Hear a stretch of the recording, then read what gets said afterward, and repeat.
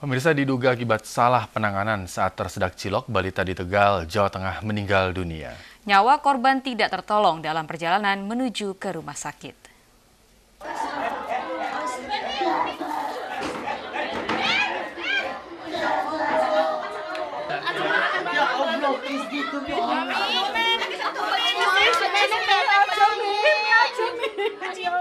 Tangis keluarga pecah saat jasad Alhisni Ramadan Niar tiba di rumah duka di Kelurahan Panggung, Kota Tegal, Jawa Tengah. Sang ibu dan nenek korban bahkan jatuh pingsan.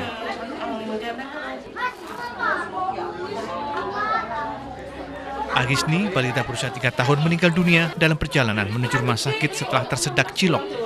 Diduga terjadi kesalahan penanganan saat korban tersedak cilok.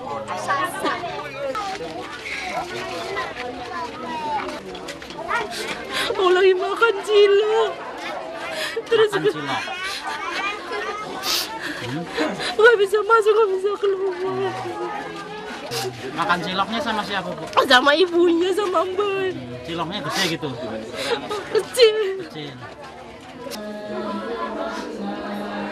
Korban adalah anak bungsu dari tiga bersaudara, pasangan suami istri Wahidin dan Surat Mini. Ahisni tinggal bersama ibu, kakak dan neneknya di sebuah rumah petak, sementara sang ayah sedang berlayar. Dari Tegal, Jawa Tengah, Yunibar melaporkan.